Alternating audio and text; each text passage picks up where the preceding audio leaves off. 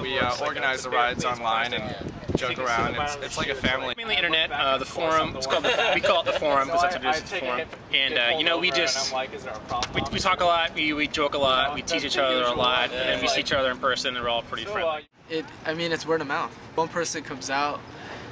I mean, like positive word of mouth travels fast. If they had fun, they're like, "Oh, dude, come with me. You got a bike? Just come with me." Like we've had a lot of people come out on mountain bikes, but next week they show up on a fixed gear bike. It's an epidemic.